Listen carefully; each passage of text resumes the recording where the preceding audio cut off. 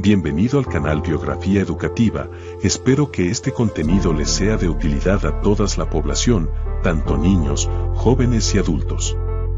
Manuela Díez Jiménez nació el 26 de junio de 1786 en El Ceibo, República Dominicana, era hija de Antonio Díez, un emigrante natural de Osorno, villa en la provincia de Palencia, España y Rufina Jiménez Benítez, oriunda de Santa Cruz del Ceibo. Tuvo tres hermanos, Antonio, Mariano y José Cupérnico. Se casó con el comerciante español Juan José Duarte en 1800, con quien procreó varios hijos e hijas. Estos fueron Vicente Celestino, María Josefa, Manuel, Juan Pablo, Ana María, Manuel, Filomena, Rosa Protomártir, Juana Bautista, Manuel Amara Los María, María Francisca y Amara Duarte. Emigró a Mayagüez, Puerto Rico, en 1801, a causa de la invasión de Toussaint Louverture, y regresaron al país en 1809, cuando Santo Domingo volvió a ser colonia española.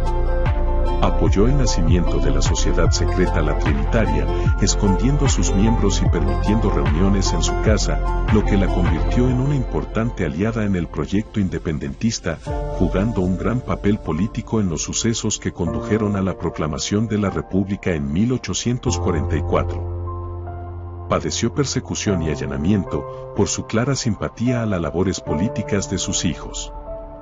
El 3 de marzo de 1845, Díez Jiménez fue expulsada del país por el gobierno haitiano debido a sus ideales independentistas, junto a toda su familia, con destino a La Guaira, donde llegó el 25 de ese mes y año, y permaneció ahí hasta el 6 de abril, trasladándose a Caracas, Venezuela.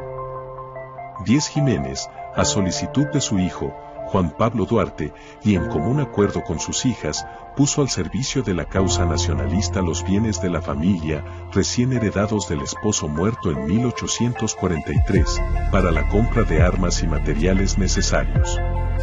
Murió el 31 de diciembre de 1858, en Caracas, Venezuela. En su honor calles y escuelas en Santo Domingo llevan su nombre. Gracias por ver mis videos, compartan, denle like y sigan.